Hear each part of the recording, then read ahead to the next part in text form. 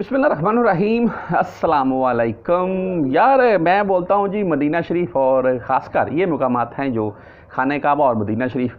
या कोई बंदा चाहे मर्द है चाहे औरत है चाहे कोई ख्वाजा सरा है जी या जिसे हम पंजाबी में या आम लफ्ज़ों में खुसरा भी बोलते हैं या कोई बच्चा है बूढ़ा है या या कोई जिस जिन जिसे हम बाने बोलते हैं सबको इजाज़त है जी सबको होनी भी चाहिए।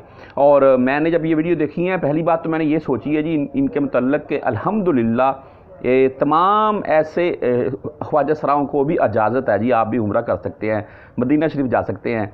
एक बहुत अच्छी यार चीज़ है, यही बहुत अच्छी चीज़ है जी।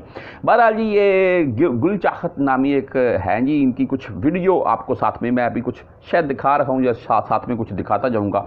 पिक्चर वगैरह मैं आपको दिखा रहा हूँ। तो इनकी ये उम्र पर गई हैं जो वहाँ पर इनकी वीडियो कुछ वायरल हुई हैं। अच्छा मैं आपको इस वीडियो में सिर्फ़ बताना ये चाहता था कि जी, खाना काबा में इनकी तरफ़ से जो दुआएँ की गई हैं, और उसके बाद उम्र करके बाकायदा अपने बाल वगैरह मंडवाए गए हैं। तो वो तमाम आप पिक्चर या वीडियो में देख सकते हैं। तो दुआएँ की गई हैं, उसमें भी यही कहा गया है जी कि अपनी एक तो मगफरत के लिए दुआ मांगेंगी और दूसरा अल्लाह ताला से वैसे ये भी कहा गया है कि हमें ऐसा क्यों बनाया है।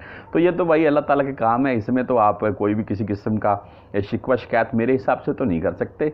फिर भी हमें अलहमदिल्ला ही पढ़ना चाहिए, अल्लाह का शुक्र ही करना चाहिए। तो बहरहाल जी, इनकी ये वीडियो कुछ वायरल हुई सोशल मीडिया के ऊपर और एक चीज़ मैं यहाँ पर और ऐड करता चलूँ। कुछ भाई इस टाइप के कुछ कमेंट कर रहे थे कि यार ये खुसरा अभी देख लो एक्टिंग कर रहा है वहाँ पर भी जाकर।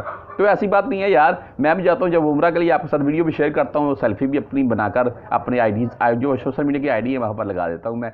आप नहीं लगाते हैं?